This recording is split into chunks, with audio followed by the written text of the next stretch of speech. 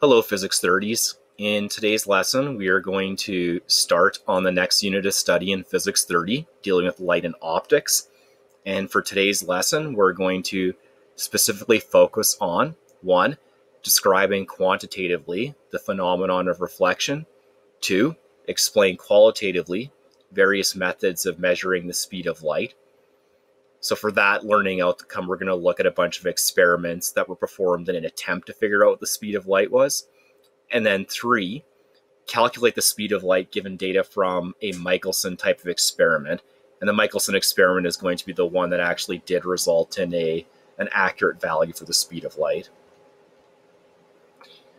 To start the unit off, we're going to look at different light sources and some basic observable properties of light, starting off with the sources there's basically two ways that we can see objects or, or view light. One is you could simply just look directly at a light source. So for example, in this picture, this little circular object is some kind of light source. And I'll talk about some different light sources in just a moment. From a light source, we have light being emitted in every possible direction. And we show that by drawing a bunch of these lines that have arrows on them. These lines with arrows are called light rays. If one of these light rays or a few of these light rays hit your eye, then you can actually see the light source. So a few examples of this might be the sun, stars, a light bulb. Uh, let, us talk about a light bulb. A lot of old school light bulbs would have these tungsten filaments in them and if you heated the filament up to a specific temperature, the filament would get so hot that it would begin to emit visible light. That's called an incandescent light source. You also have fluorescent light sources, which would be most of the horrible lighting in the school. In those fluorescent light sources, like you have these tubes that inside the tubes you have some kind of gaseous vapor. And if you put an electrical current through that vapor, you can cause it to glow phosphorescent light sources. Well, best example of that would be going back to the cathode ray tube experiment that was discussed in the previous unit.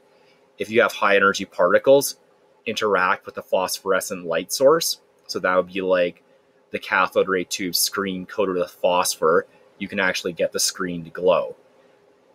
You also have chemiluminescent and bioluminescent light sources, which there's some kind of chemical reaction that occurs with one of the reactants being visible light. Bioluminescent would just be the reaction, the chemical reaction occurs in, in a living thing, like a firefly. In terms of like the sun and stars, you'd have like some major type of nuclear reaction, which we'll discuss in more detail in the last unit of the course occurring, where once again, one of the reactants is visible light. The other way that we can see objects is light hits the object, it reflects off of it, and then it goes into our eye. So, for example, uh, I have an object in this picture. Again, it's just a circle. This object could be a textbook. So, a textbook on its own is not a light source. The way I can see it, though, is light from a source. So, that could be like the, from the awful fluorescent uh, light source inside the classrooms would come from the light source, hit your textbook, and then reflect off of it and then go into your eyes. So the way I'm able to see the textbook and the words on the page is a result of light from a source hitting the book and then reflecting into my eye. It's a more indirect way of actually viewing things. And the other examples I've given right here is light reflecting off of a mirror, light reflecting off of a whiteboard, light reflecting off of a planet. So the picture shown down here could be your light source could be the sun. Light rays from the sun hit another planet, and then they hit that planet and reflect back to us. And if we're viewing it through a telescope, we might be able to see that planet. In terms of basic observable properties, we'll look at three of them. First basic observable property is that light travels in straight lines. We represent this on diagrams, as I showed on the previous slide, as a ray of light. And all a ray of light is is a straight line where you have an arrow somewhere on the line that tells you what direction the light is, is moving or what direction the light is being emitted. There's a couple of ways we can justify or that light does travel in straight lines. So evidence from a, a, a couple things we can observe. One, the fact that light can cast shadows is evidence that light moves in straight lines. And two, light does not appear to bend around corners. Okay, so I'll just give like a really simple example of this. So let's say we have the ground, which is that horizontal line, and the wall, which is the vertical line. We have a light source somewhere on the ground. And we're going to put an obstruction between the light source and the vertical wall. That light source emits rays of light in every possible direction. We're only going to focus on a few of them, though. So here's one ray of light that comes from the light source. It hits that obstruction, and depending on the color of the obstruction, objects that are black tend to absorb light, objects that are white tend to reflect it. As for the other colors, well, there's certain, it depends on the nature of the material. Some, some objects will absorb certain colors, some objects will reflect them. The reason an object appears red is because it would reflect red light. Okay, but anyways, light from the source is emitted and it hits an obstruction and it's either going to be absorbed by the obstruction or it's going to be reflected. Second ray of light, same thing. It's emitted from the light source, it hits that obstruction and either gets absorbed or it gets reflected. Let's look at the ray of light that just passes through that top little corner. If we extend that line of the ray of light that just passes through that top corner, that shows me the size of a shadow that would be cast. And I suspect that you've done a lot of mathematical problems. I'm, I'm not sure in which math course where you've had to predict the size of shadows using some uh, some basic uh, geometry, which I can come back to in just a moment here and talk about after I talk about the second observable property. Number two, light rays obey the laws of geometry. This is a consequence of the fact that the light travels in straight lines. So, different laws of geometry that they could obey would be similar triangles, trigonometry, the law of reflection, which I'll talk about in more detail in a moment, but just going back to this picture, again, like you could set up some similar triangles. Like for example, if you want to figure out like what the size of the shadow is being cast, then you'd have like one really big triangle here. You have like a smaller interior triangle, which I'll just pick with I don't know, let's do light blue. Smaller one.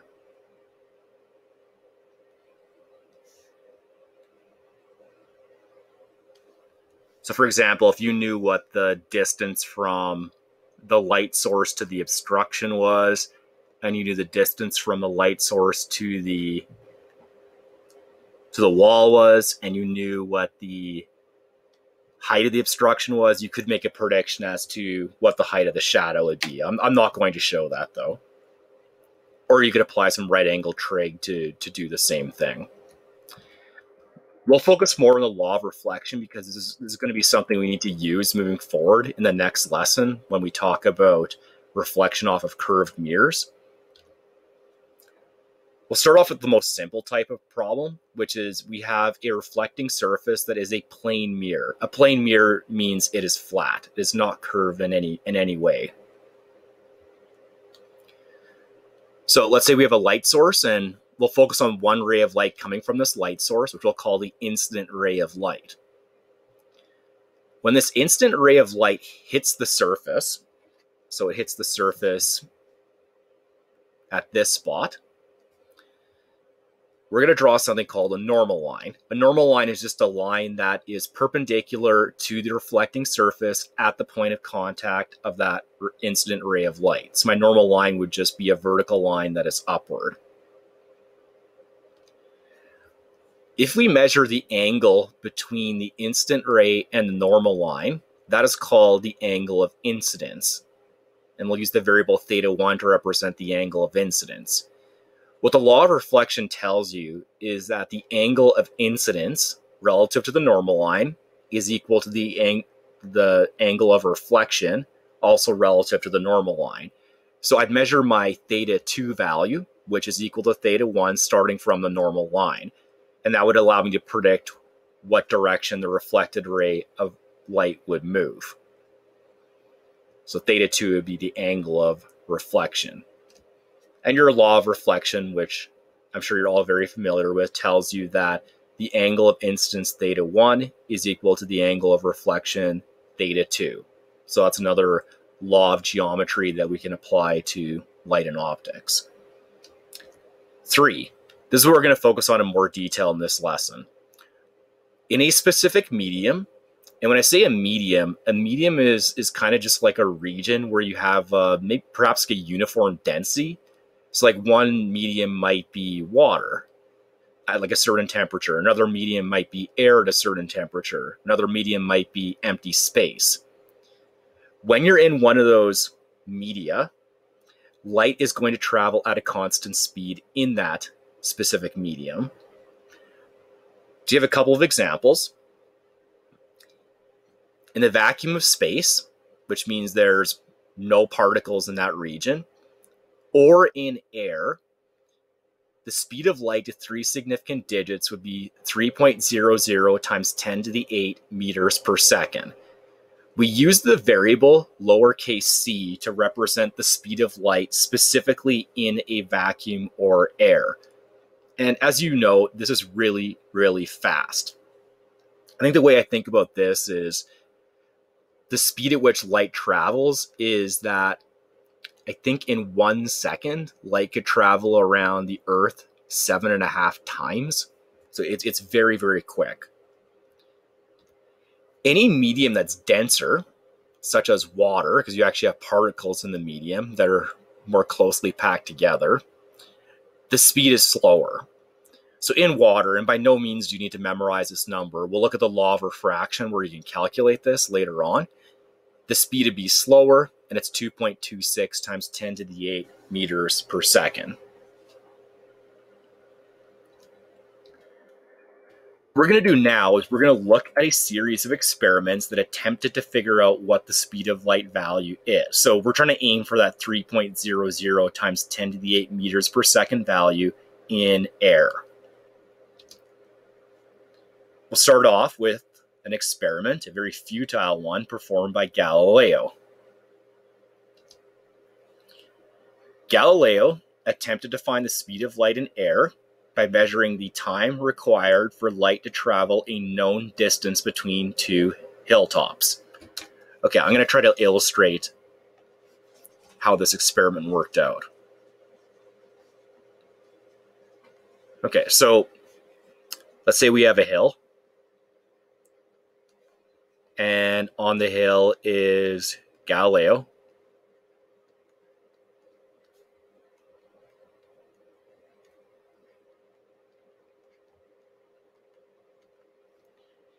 And he is going to be holding a lantern. I cannot draw a lantern.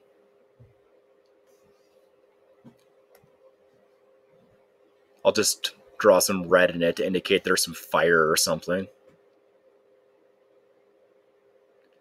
Okay, so he's got a lantern. And then, some distance away, we have another hilltop.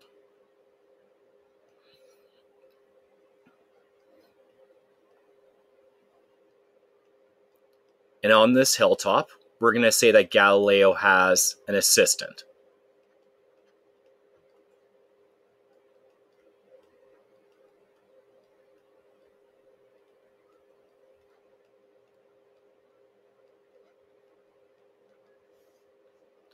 Now, the assistant is also holding a lantern. Again, we'll just draw some red inside of here. Now, here's the idea behind the experiment. So initially, these lanterns were covered up. So there's something on top of them. So Galileo would not be able to see the light from his assistant and vice versa. What Galileo tells his assistant is that, okay, I'm going to remove the cover from this lantern. And the instant I remove the cover from the lantern, I'm going to start timing. And then what's going to happen is We'll do this in like a different color. Right after I remove this lantern, the cover from the lantern, light is going to travel over to you.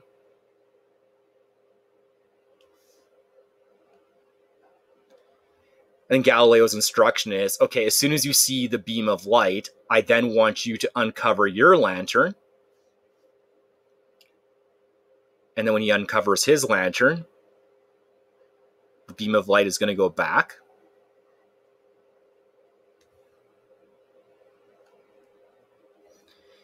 And then once Galileo observes the light returning to him, he stops timing. So here's what we have. And I'll do this once again in a different color. So let's say this distance is d. Again, the idea is Galileo tells his, his assistant that I'm going to pull the cover off the lantern. Light's going to go from my lantern to you. Once you see it, I want you to uncover your lantern, and light's going to go back to you. And I'm just going to measure how long it takes the light to go from you all the way back to me. So what he's going to do is he's going to measure he's going to measure that time. And the idea is if we use the uniform motion equation, v equals d over t, well, in this case, because the light's traveling to the assistant and back, that would be 2 times d.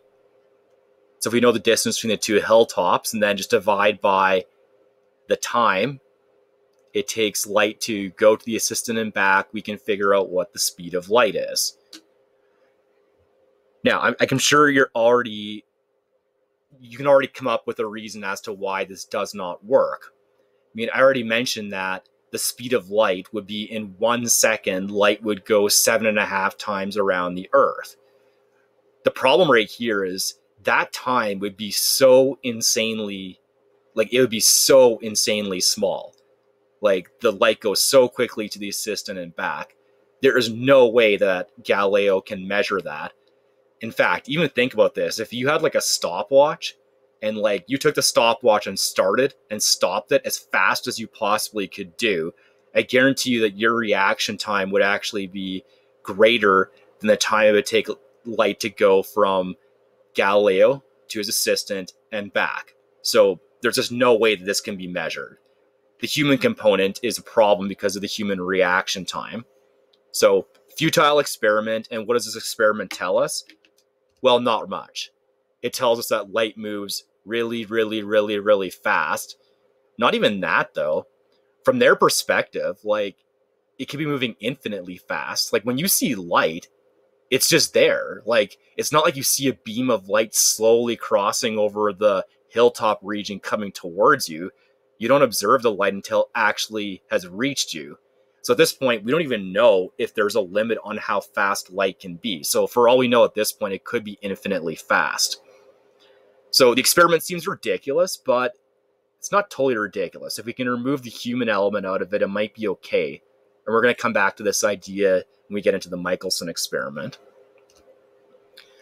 Second scientist, I don't know how to pronounce his name, Ul Romer. I'm going to go with Romer. a little bit of a different setup. Now, he didn't actually do an experiment to figure out what the speed of light is what he did is he made an observation about Jupiter's moon Io, and specifically the period of Jupiter's moon Io. Jupiter has a bunch of moons. Io is probably like the most common one people talk about. It's like a volcanic nightmare. Uh, I believe the period of Io, in terms of how long it takes Io to go around Jupiter, it's somewhere around, I think, 42 hours.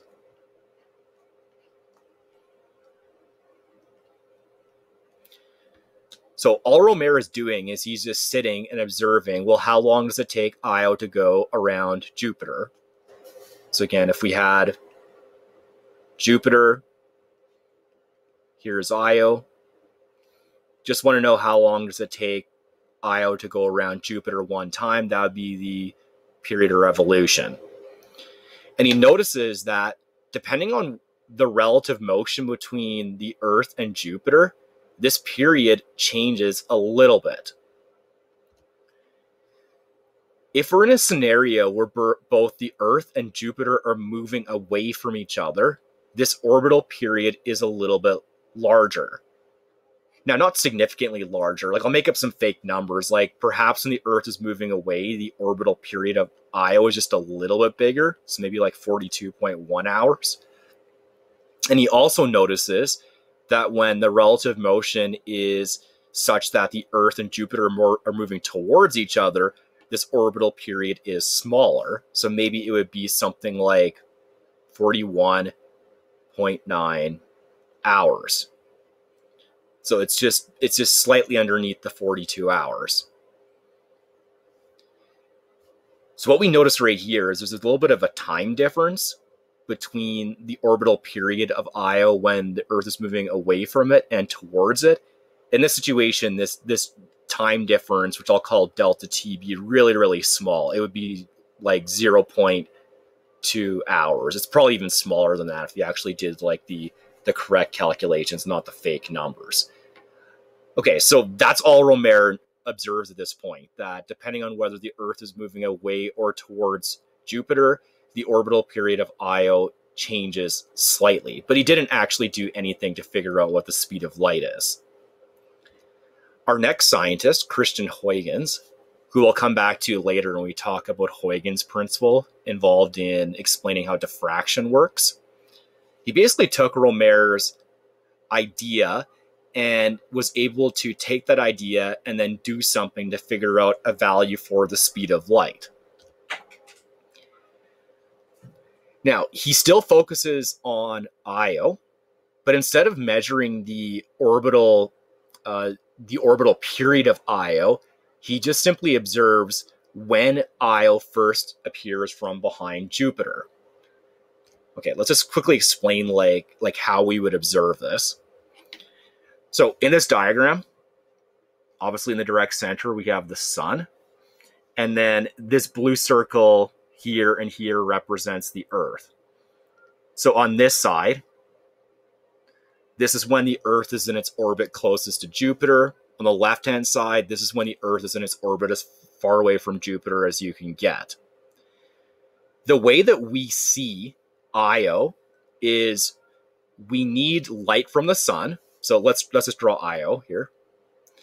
We need light from the sun to travel all this way across empty space. It hits Io. Whoops, wrong direction here. The wave ray should be pointing in that direction. It hits Io, and then it reflects back to the Earth. Okay, that's how we observe Io. We need to, the light from the sun hits Io, it reflects back, and then if we're using a telescope, we can observe when Io first appears behind Jupiter when it's behind Jupiter, we can't observe observe it because the light rays would just hit Jupiter. But once, like when it just comes out from behind Jupiter, we're interested in that first ray of light hitting Io and then bouncing back. What Huygens reasoned is that there should be a time difference for when Io was expected to first appear, based on where the Earth is in relation to Jupiter. So let's say that we're at this point here. We're at the point where the Earth and Jupiter are as close to each other as possible. And let's say that Huygens is observing the exact time that Io first pops up behind Jupiter. And I'll just make up a fake number. We'll say it's like 12, 12 a.m. Okay, so he makes that measurement. That's when Io first appears from behind Jupiter, when the Earth is closest to Jupiter. Okay, so then sometime later, the Earth is on this other side here is as far away from Jupiter as possible. And then we again determine well what time is Io going to appear from behind Jupiter. Now, what happens, and this is the difference between the two positions, is if we compare the position of the Earth here compared to the position of the Earth there, and once again, the way that we see light from Io is if this is Io, light from the sun hits it and bounces back, then the light is going to travel to the Earth. If it's at this closest point, the ray of light would stop here. But if it's at this furthest point, and I'll draw this in a different color, so I'll extend the ray in a different color, then it would keep going.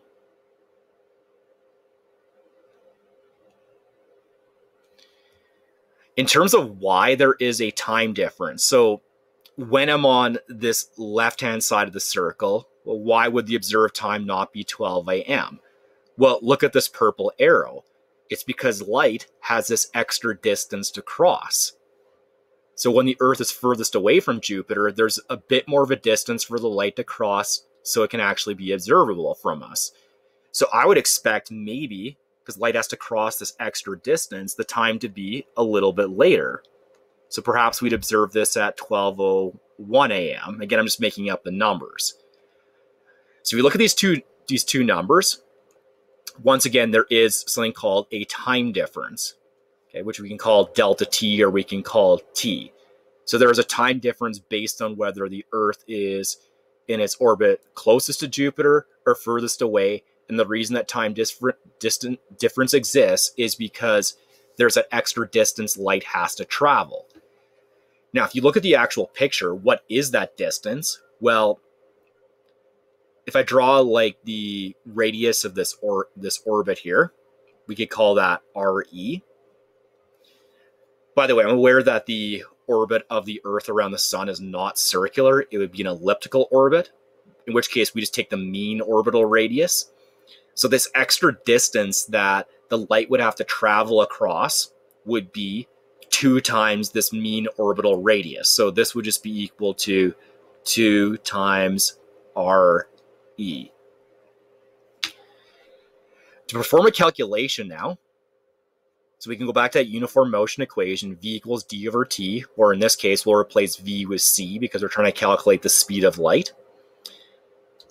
The d would be the extra distance the light has to cross when comparing the Earth closest to Jupiter and further furthest from Jupiter. So that's two times the Earth's mean orbital radius. The time would be, well, the time to cover that, that distance. So the time to cover that distance would just be this time difference delta t, which in this case would be one minute. When Huygens actually calculated this, he got a numerical value that was 2.38 times 10 to the 8 meters per second. So there's a good and a bad thing about this calculation. The good thing is that, well, first of all, it's a number, like it's a finite number. So we know because if I'm further away from Io in comparison to being closer to it, because it takes longer for me to observe when Io pops out, the light has the speed of light has a finite value. It can't instantaneously travel from one point to another. So we have a finite number now. We know that light does not travel infinitely fast. I suppose the other good news thing is we're on the right magnitude. So the speed of light in vacuum is 3 times 10 to the 8 meters per second. We got that part. The bad news is this number here, 2.38, is closer to the speed of light in water compared to the speed of light in air or a vacuum. So it's still quite a bit off. It's not totally it's it's not totally accurate. I'm not sure like what the reasoning is for why this is not accurate.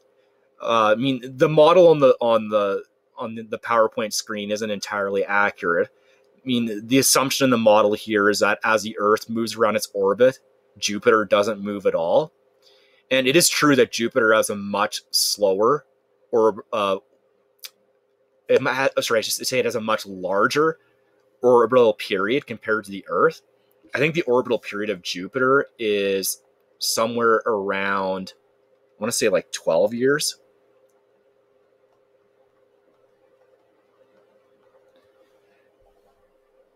So it would take half a year for the Earth to go from one side of its orbit to the other. Jupiter would move a little bit around that time, but not a whole lot. So maybe that accounts for some of the error, but I suspect a lot of the errors had to deal with uh, not having sophisticated enough pieces of equipment to properly measure it at that point in time. And the final experiment is going to be the Michelson one. And this is the one that's going to give us a an accurate value for the speed of light. The Michelson apparatus for this experiment involves using a rotating mirror with a certain number of sides to it, where the number of sides we're going to use the variable lowercase n to represent it. Here's what the apparatus looks like, and I'll, I'll go through it and then talk about how we can figure out what the speed of light value is. Okay, so I think this was performed somewhere across like a mountain range. So what I have is on one mountain, I have this plane mirror. It's stationary and then 35 kilometers away, I have this rotating mirror. So in this case, it's it's a mirror that has eight sides to it, and it's rotating in a direction from our perspective that would be clockwise. So these two mirrors are located 35 kilometers apart. What I have at the bottom is a light source. And again, what that light source does is it emits light rays in every direction. Just draw a few of them. Beside the light source, I have this little slit here. So what this slit does, and if I extended the slit, I'll just draw it in a different color. So I have kind of like this wall with like a really, really tiny opening. So what that means is only one of these rays of light is going to pass through. So that's that one that would be directed towards the top of the page. Only this ray of light goes through. What happens is this ray of light hits the mirror, and then according to the law of reflection, angle of incidence is angle of reflection, they would hit the mirror, reflect off of it, then reflect off this mirror, come back and hit a different part of the mirror, and then reflect off of it, and there would be an observer waiting to see if they can actually view any light. Okay, so that's kind of the gist of how it works. You just have light hits a mirror, it goes all the way across this mountain range, reflects off the mirror, comes back, and if it comes back at a very spe- if it hits the mirror in a very specific manner, then I can observe the returning light. The observer will only view the returning beam of light if the mirror rotates at a very specific frequency. Okay, here's what I mean by the, for the very specific frequency. So I'm going to label a few sides of this mirror. So let's call this side one. We'll call this side two, side three, side four.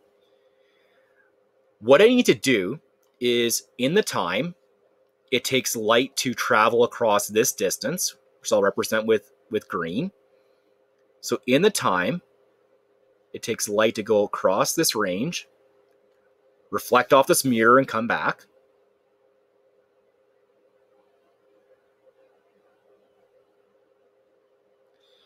I need the mirror to have rotated in a way so whatever orientation that it started with it's back to that exact same orientation.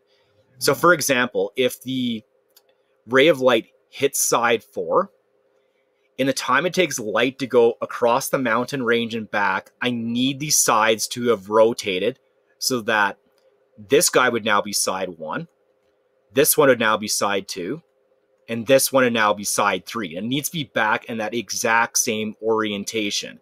We have the observer sitting here so he can only see the reflected light if the light hits the mirror back in this exact same orientation. What we need to do is figure out, well, what frequency would I need to rotate the mirror at to do this? So I'll make up a fake number. Let's say that the period of the mirror is, I'll make up a number. I'll say 16 seconds. It's got to be way faster than this.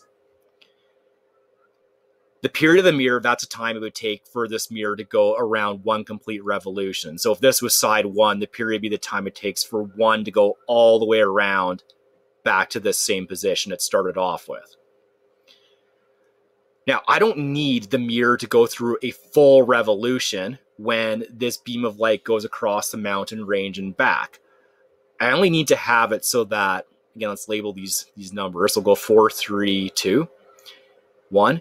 I only need to, to have it rotate so that when that ray of light goes across the mountain range, and the time it takes the ray of light to go across the mountain range and come back, I need to have this is now side four. This is now side three. That's now side two. So, how much of a revolution has the mirror gone through in order to do this? Well, it has eight sides on the mirror. So, the time it would take the mirror just to go through this, this revolution where side three is now side four, that would be one eighth of a revolution. So, the time to do this would be 16 divided by 8. 16 seconds divided by 8. So if it takes 16 seconds for the mirror to rotate around in a complete circle, two seconds would be the time it takes for it to go through a an eighth of a revolution, one eighth of a revolution. So the mirror is back to its I shouldn't say back to its starting position, but back to an orientation that's identical to what it started with. We can be more generic about this. If I want to actually write down the time, the time would just be equal to the period of the mirror, time takes to go around the circle one time, divide by the number of sides on the mirror. So little t is equal to the, the period of the mirror divided by n. Okay, let's try to figure out how we can calculate this now. So once again, we'll start off with the uniform motion equation, which tells me that your speed of light c in air is d divided by t. In this case, we're looking at light hitting the mirror, going across this mountain range, and coming back. That's roughly just 2 times d. In the time it takes light to go across the mountain range and come back, we need the mirror to have rotated through one eighth of a revolution. Or if we want to keep it more generically, we can just say the period divided by n. So one nth of a revolution, depending on the number of sides in the mirror. If I expand this, then the number of sides of the mirror would go to the top. And that would be one way of calculating the speed of light. If you knew what that distance was, you knew the sides of the mirror, and you knew what the the period of the mirror was, then you could calculate the speed of light. I did, however, identify in the second bullet point we're talking about frequency. So I can kind of pull the equation apart a bit and just focus on the 1 over t part. And it turns out 1 over t is equal to frequency. Frequency and period have an inverse relationship.